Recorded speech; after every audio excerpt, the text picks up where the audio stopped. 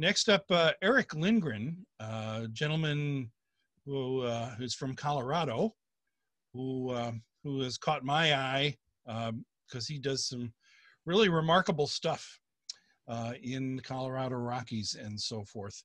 Erik, do you want to give us a short bio on yourself and launch into it?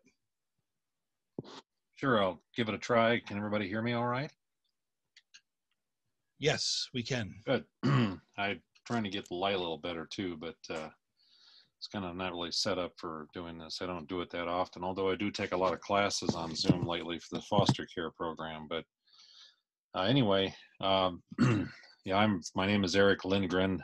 Um, I'm originally uh, from Iowa, uh, Mason City, Clear Lake area, um, and uh, used to do a lot of rail fanning, Andy, over by where your presentation along the Mississippi River. My dad used to take me over there quite often, so it was kind of kind of nice to see that. um, I uh, I came to Colorado to go to art school about 18, 19 years ago. I have a lot of family that live here, uh, so I just I've been taking pictures since my dad gave me a camera when I was about 12 years old, I think, maybe 11. I had a little Kodak disc camera. He taught me how to use film, and my dad was a pretty good photographer, you know, but no trains, unfortunately.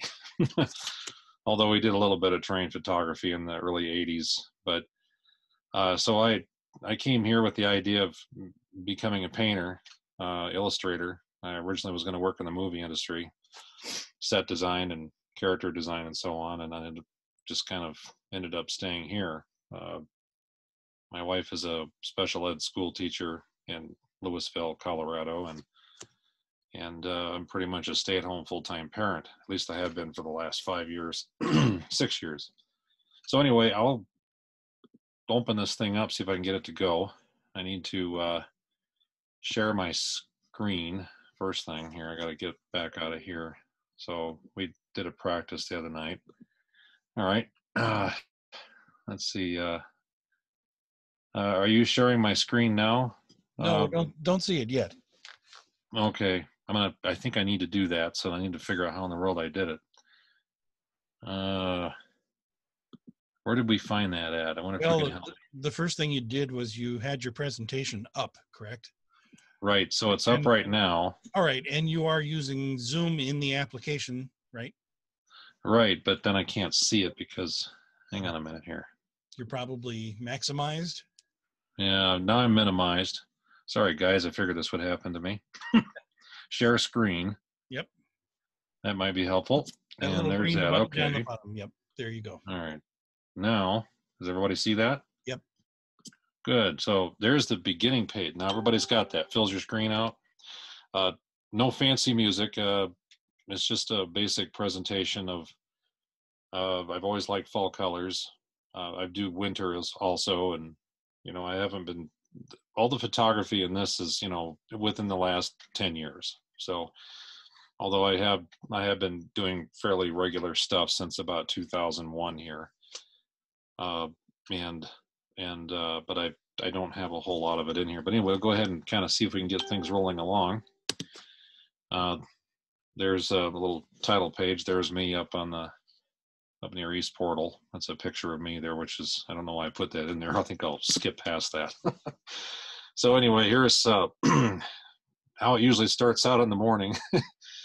uh, this is sunrise at uh, uh East Portal.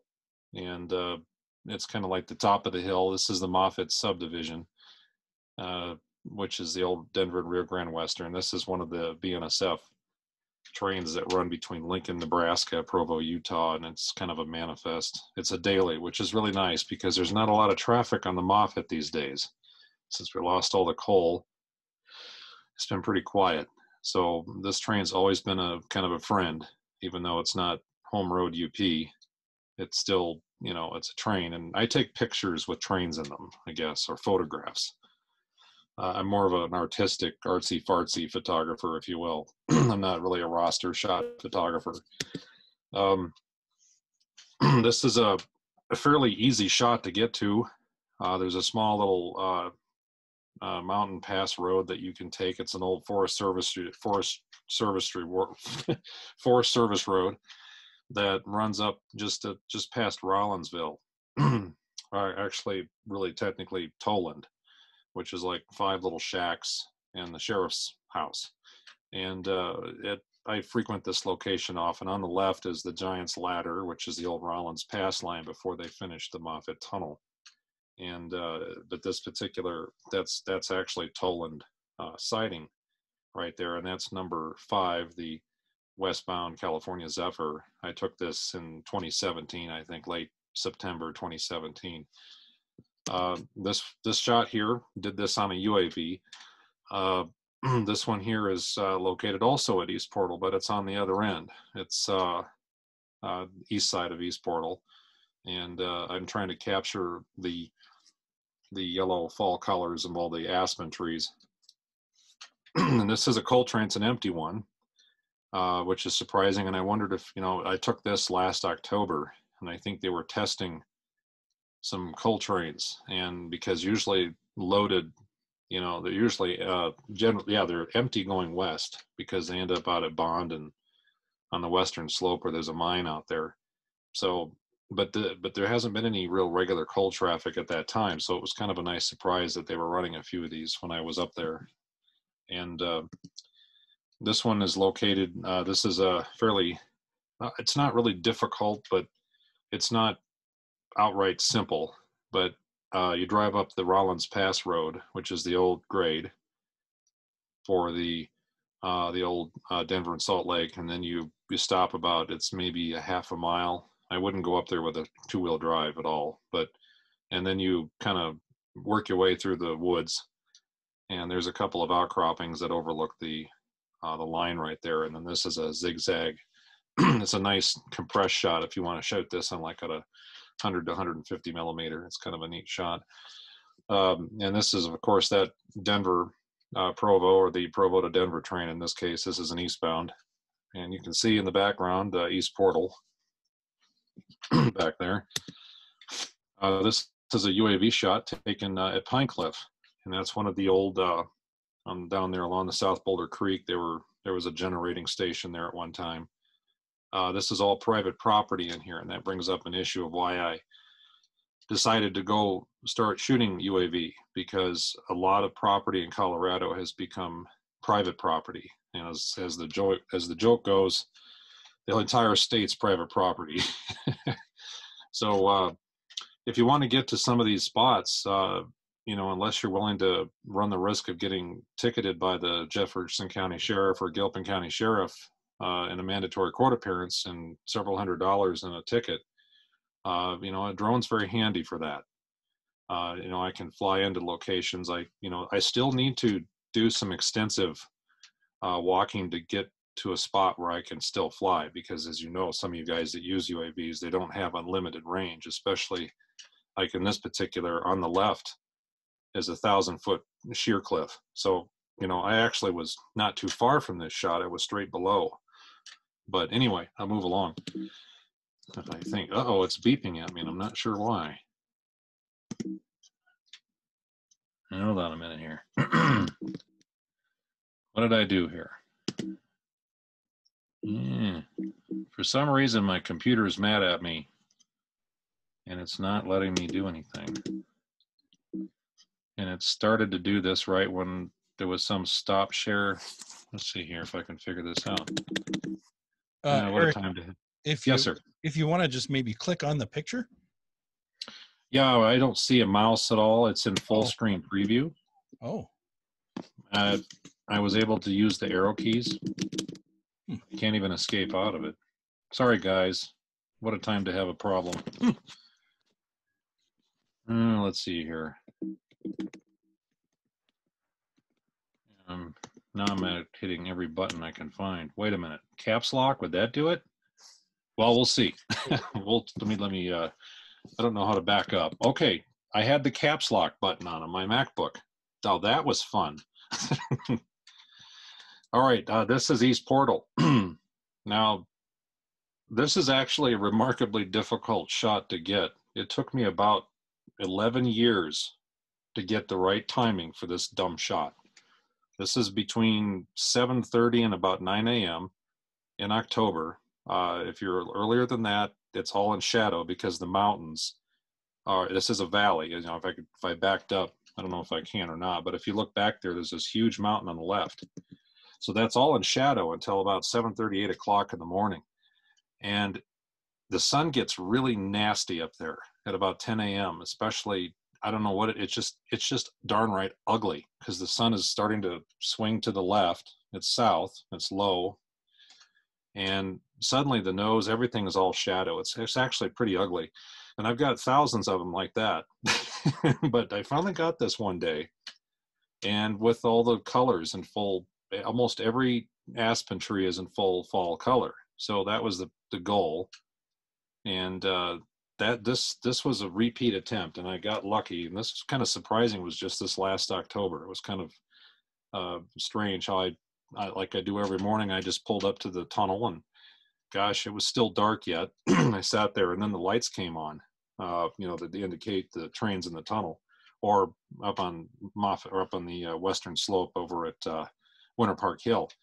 So within a half hour and i was sitting there you know white knuckles like don't come out too early you know don't come out too late. So uh it was yeah. So anyway uh this is totally different day once again i think mike asked me last week is that the same train? Well actually technically it kind of is. Uh, this is a regular occurrence this train. This is that provo, uh, provo train uh, that comes through twice a day. And this is the eastbound and this is a late uh, late September. A lot of gray.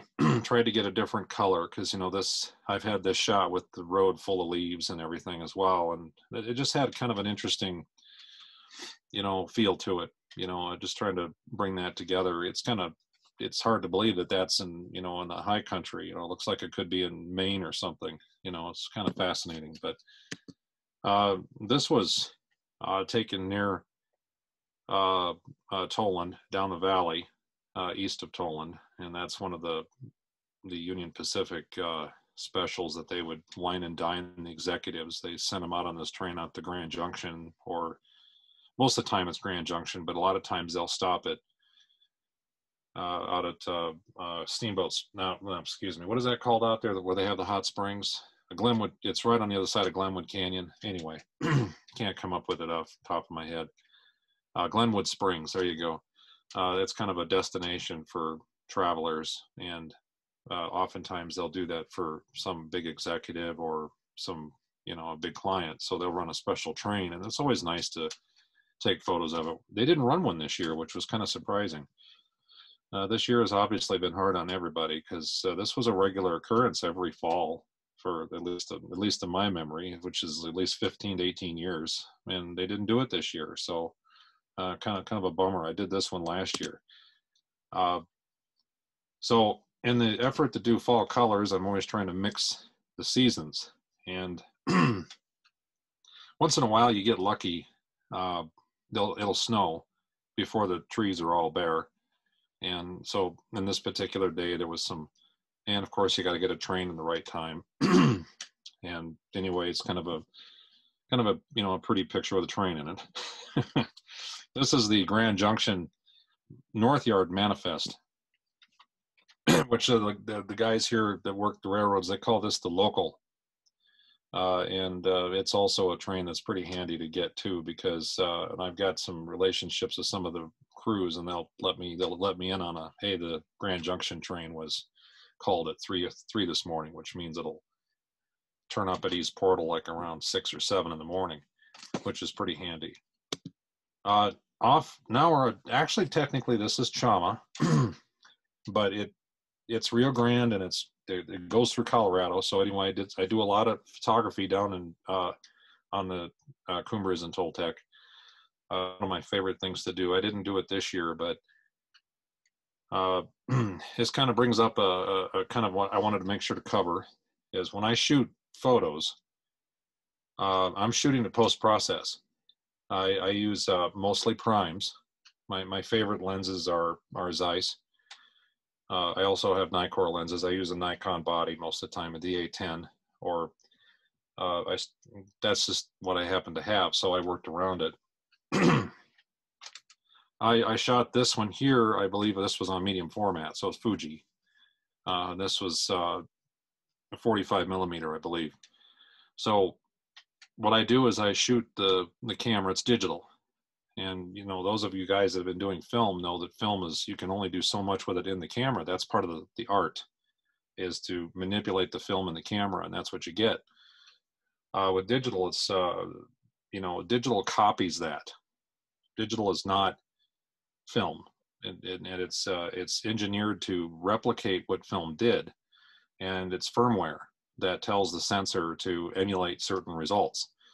Uh, so when I shoot, I shoot raw all the time. I'm sure all of you do. On a Nikon, it's kind of a weird thing. It's just at you know that's the whole idea is that you know it's it comes out almost gray. And what I try to do is I don't want to blow out the highs. I don't want to crush the blacks. I don't want to. I want to have everything preserved as much as I can. I want to preserve all the colors wherever they are or capture them if I can. I want to preserve everything in the shadows, but I don't like HDR. And that's HDR is not something I like at all.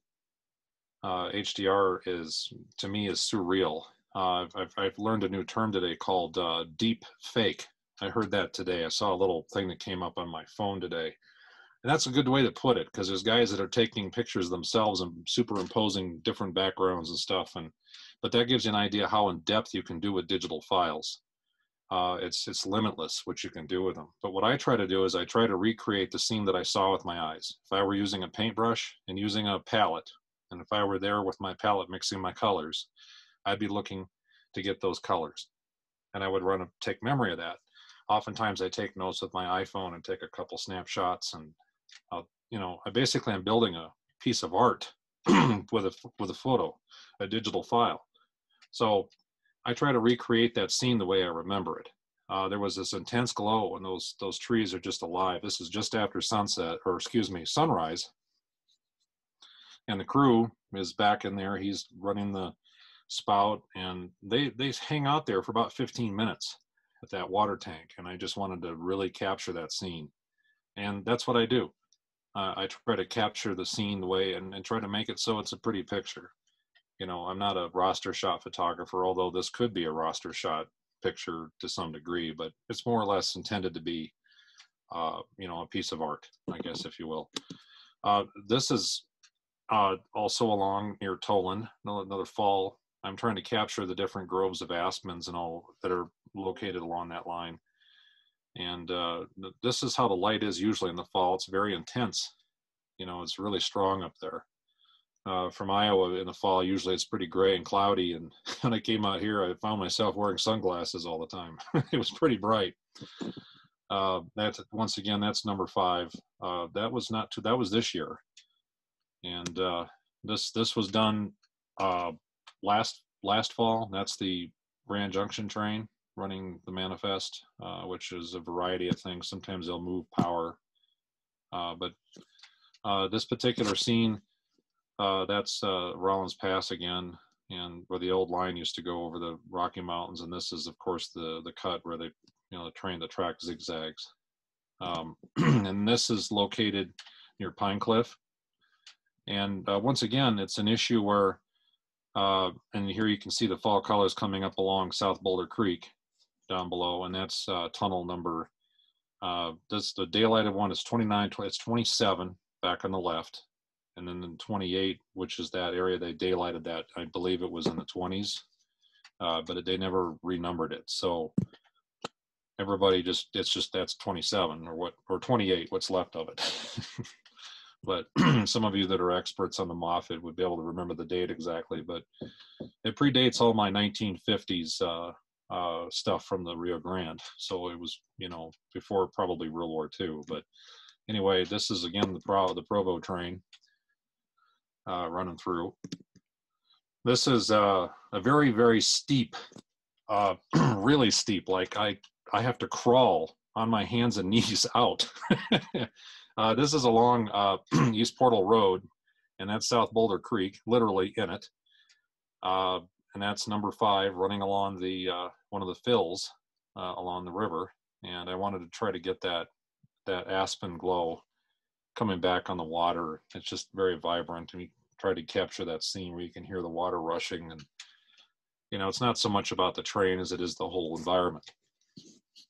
I shot this on a 14 to 24 millimeter zoom that I, one of my favorite lenses. Uh, it's a Nikkor lens. Uh, I bought it about 10 years ago and it's one of my go-to lenses. I really like it's, it's pretty good lens. It does a nice job and uh, it's really designed for architecture. So it keeps things straight, uh, which is kind of neat. Uh, a lot of the fish eyes you use that are 14 millimeter or 12, they, they, you'll get this kind of, as some of you guys know, it looks like it's kind of uh, fairly heavily um, uh, distorted. And this one's not too bad. It keeps things relatively straight, but that's pretty tight. Those aspen leaves are on the rock on the right are like two inches from the the, the edge of the the, the uh, lens. And I do know how to use aperture settings and, and I use a tripod and you know it's it's it's a lot of luck too. It's also open the shutter and you hope you get the train in the right spot. As you can see up there, it's getting pretty close. I would have probably lost it. but uh, once again, one of my favorite spots with the UAV. Uh, I love this angle. I wish there was a, you know, there's actually a bank of trees right behind this. You could technically, if you were a climber, you or a tree climber, you could climb up a tree there and get this shot. There's trees right behind the drone. it's not, I don't like to use the drone like aerial. I don't fly up 200 feet. This is about maybe 75 feet from the, the river level. So it's not really, you know, it, I wanted to get the whole scene together to kind of, you know, share it with the world, what it looks like. And here's the exact opposite, me laying on the ground. Uh, this is located uh, uh, down near, uh, I believe, I have to remember, I believe this is, I'm trying to think of the milepost number. This is probably milepost 48. It's, uh, I walked the track, it's about a mile walk. And I'm laying on the ground, literally. And the, the, the, thing is with the time, of course, Amtrak is so timely. Uh, I tried to get the sun to do that starburst through the aspen trees type of look that you see a lot of people do of aspen photography. And that sun kept going up and up. And I'll tell you what, if that train didn't turn up anytime sooner, it would have been, it would have blown it. so it was pretty close. Uh, this is uh, done on the UAV. This is about 40 feet off the ground. Uh, and it's all private property, both sides, but boy, it's quite an angle. I mean, it's, it's, and you can, years ago, the guys used to sit, there's a road on the left, it's a private drive. Uh, if I drove up in there, uh, let's put it this way, I've never, never encountered the police, but I don't want to. The sheriff lives about a mile from here, so I don't want to mess with that. So I use the drone to, to basically trespass, fly over the fences. But I still want to get this scene with all the different trees and everything. Uh, this is down in Chama, again, I guess uh, this was another sunrise shot, uh, trying to capture. This is you know early fall, very late September. Uh, these pink flowers are really vibrant, and uh, once again, it's mostly a kind of a you know it's more or less artistic. But 487, they in this particular scene here, I believe he's uh, blowing out the ash pan with a compressed air, and they're getting ready for the day's work it's kind of a neat thing to watch these guys work. I know some of you have seen it many times, but it's it's pretty cool to be able to witness this in this day and age. You know, those steam operations, they run these things pretty hard down there. You know, they're they're they're fired all the time. It's pretty amazing. Uh, this is also Cumbres and Toltec. This is in Colorado. This is Coxo. Uh, this is a yes, it's trespassing. I'll admit that. I wanted to get this shot. I drove by it the day before and I saw this yellow everywhere and I thought I got to get in there, you know, so I did it. Uh, I didn't encounter any troubles, but I did get the shot. And I wanted to get them coming up on that fill, which is, you know, most of you know on the right is the highway. Uh, this is up and around the trees and up in a little nook. And um, it's kind of a neat way to look at it.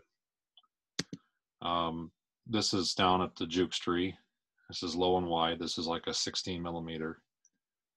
Uh, a lot of color, a lot of color down there. It's one of the prettiest places in the fall. So vibrant. Uh, that's Windy Point. Uh, trains working through that. The aspens are completely changed, but they're pretty close.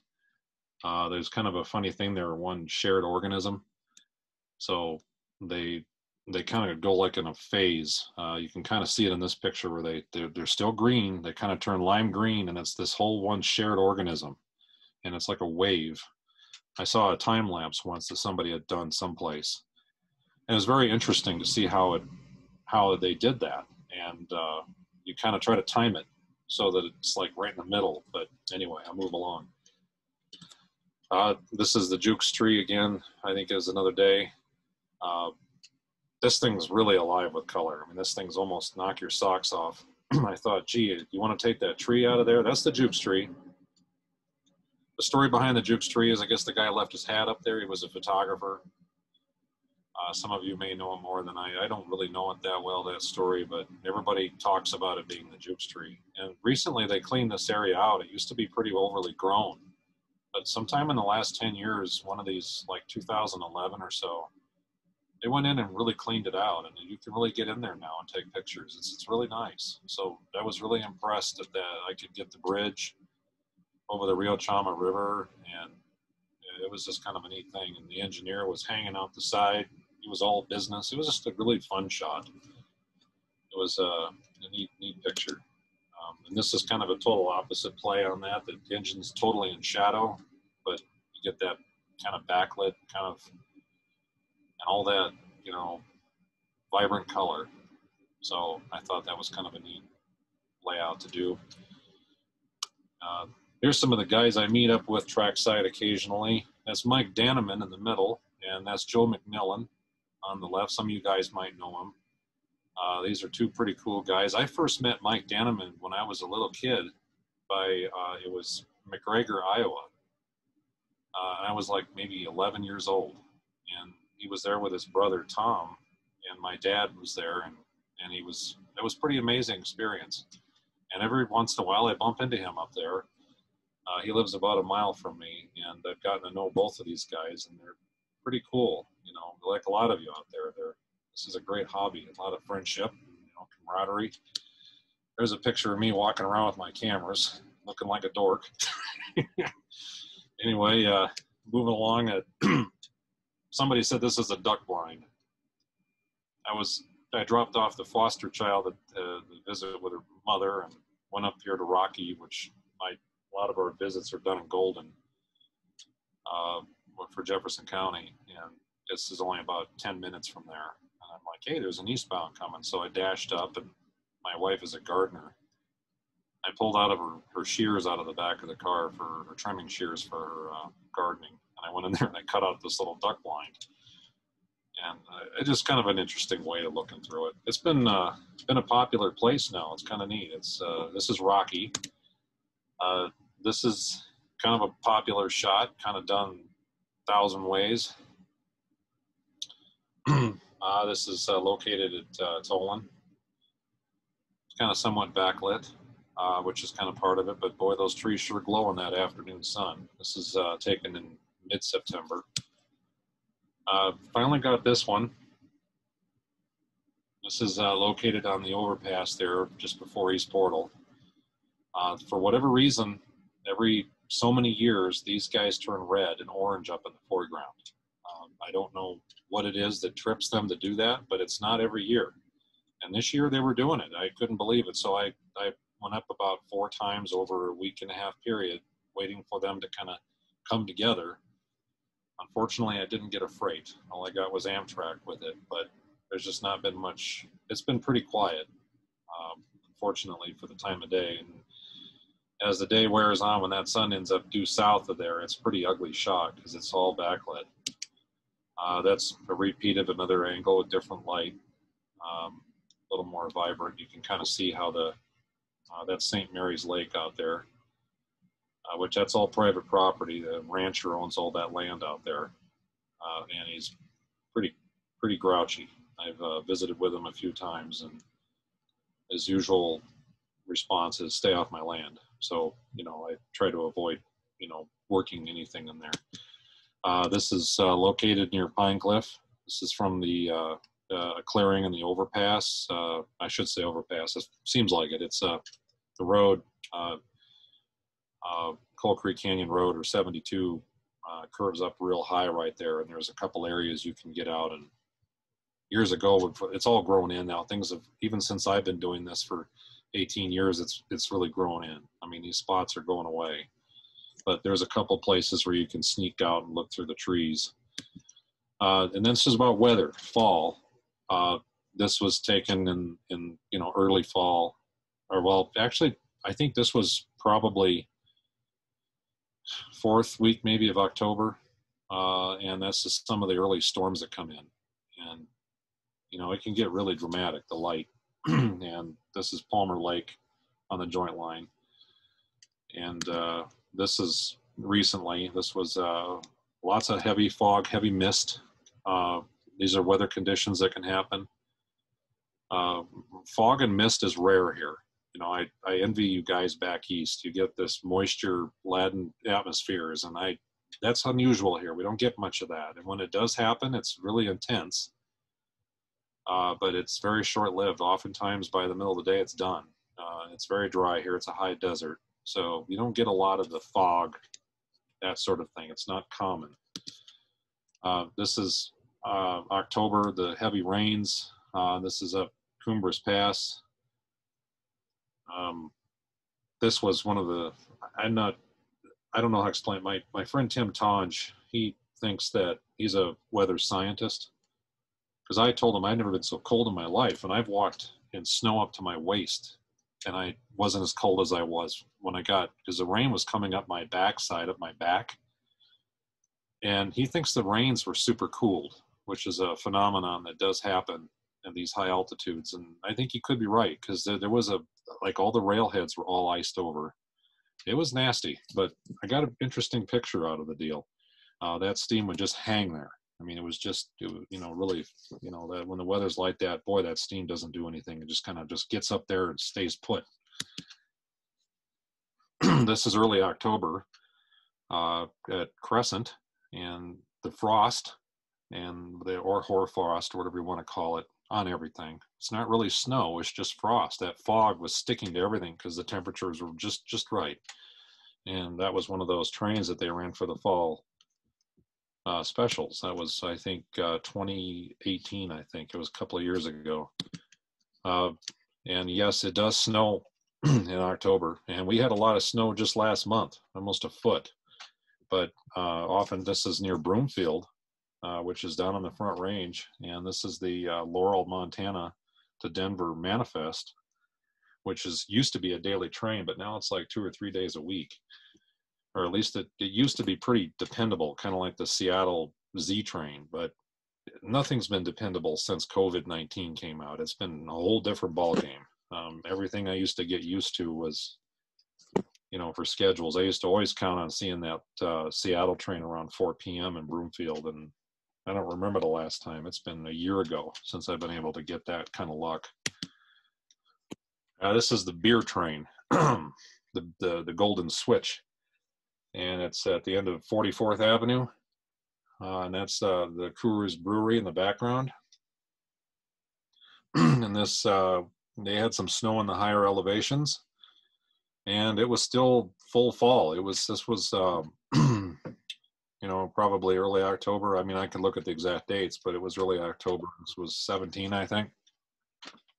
Trying to play on some of the different um, conditions, the clouds. Uh, there's these popcorn clouds. When these storm systems clear out, you get these clouds that are, they're literally, they'll come and go. These shadows will, you know, I mean, this shadow was literally going right over me, right over the train in about five minutes and they were just sitting there. So it was plenty of time to work out a sucker hole there, which was kind of cool. And the crewman was a surprise. He was out, he happened to walk into view, which was kind of neat. Oh, now it happened to me again. I had a message come up, Mike, and like something came up that said, let him in, and now I'm frozen again. I wonder what happened. Yeah, kind of weird. Now I'm frozen again. Are I wonder if it's. Are you almost done? Uh, I'm not sure, but I can be. yeah, weird. Now, see, now I can't do it again. What about your caps lock? Was that uh, the issue the last time? Yeah, it seemed like it. Hmm. Uh, beeps when I. Oh, how frustrating. Uh huh. because I had I just had somebody me, uh, entered. You know what I'll do here is I'll uh, I'll unshare your screen, and then uh, see. Uh, Yeah, I wonder if it was related to that, because that's what happened last time. I had a little message come up that said "Let Yeah. him in." Yeah, yeah, yeah. Because yeah, you'll you'll get that because Huh. Right, and then when that happened, my my app my my thing it froze. Like I can't do anything now. Oops, sorry, I muted you by mistake. Oh, now I've muted him. Uh, you well, you unmuted yourself, so that's good. Well, I didn't know how I did. God, swell. Oh well. Well, I wonder. This is really weird because now I can't. I wonder. Yeah, see, I don't even know how I can. Hang on a second here. Oh, I wonder if I can go back in again. Let's try this. Yeah. All right, I'll, I'll rush through it. Let's say, how am I doing on time? You're over. Am I over? Okay. Well, all right then. Uh, maybe I can just zip through a few photos here. Um, let's see. There's uh, not much to look at. Well, anyway, I can just uh, stop at any old place here. Uh, if anybody has any questions, fire away. uh, anybody have any questions?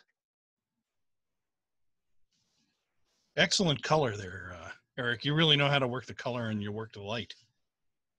Oh, that's good. Thanks. Um,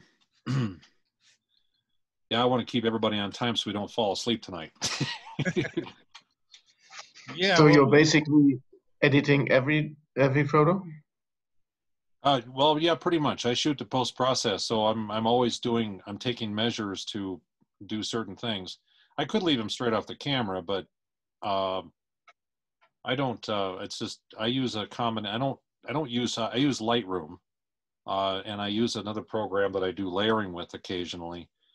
Uh, it's on, and I do it all on my iPad. I have an iPad Pro.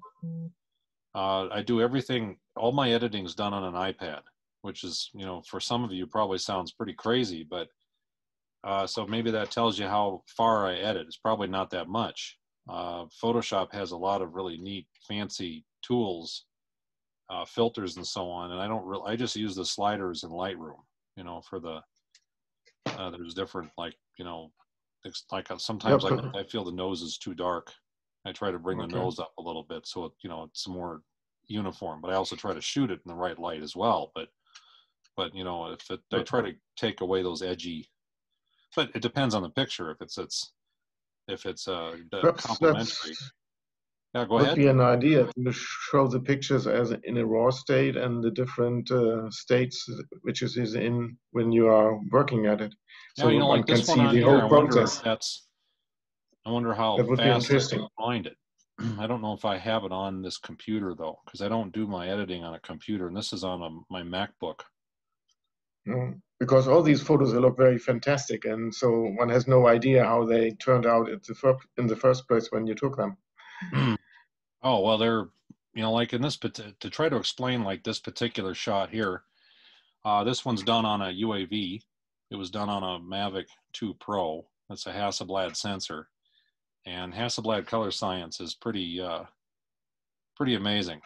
Uh, it's uh, far beyond most manufacturers' cameras' abilities, and it was nice that we got that sensor on that drone, and it's basically a hand down from their uh, medium format bodies, which are around a hundred grand and uh, and I have basic controls on the drone, real basic. Uh, most of the time, I I'll dial down the exposure value uh, to prevent from blowing out.